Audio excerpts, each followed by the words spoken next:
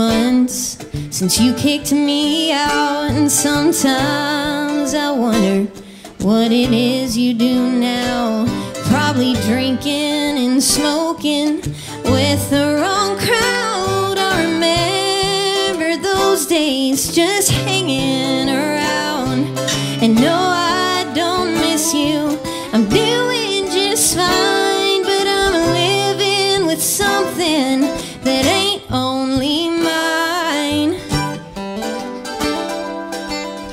I've got something yours. It's always around, and I can't do the dishes or head into town without thinking of you and seeing your face. Yeah, it's always with me, always in my space. And no, I don't miss you.